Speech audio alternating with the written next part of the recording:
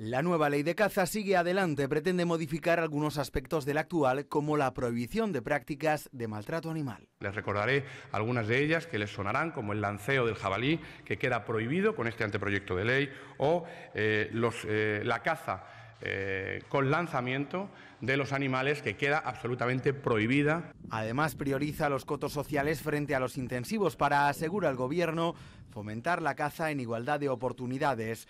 También prestará especial atención al uso de venenos y modifica la ley de tasas para permitir que las personas jubiladas obtengan gratis su licencia. Es una eh, medida eh, solicitada por eh, los cazadores y pescadores de más de 65 años y el Gobierno regional atiende a esta demanda que tiene evidentemente un componente eminentemente social. Otro artículo polémico que viene a modificar esta ley es el de prohibir cualquier acción que pueda espantar especies en terrenos ajenos, incluida la recogida de setas o espárragos. Solamente se prohíben aquellas actuaciones que espanten la caza de forma deliberada en el momento en que se esté produciendo la caza. Una ley que, según el consejero, trata de hacer compatible la caza con la preservación del medio ambiente. Asegura también que nace fruto del consenso con los amantes de esta actividad y grupos ecologistas.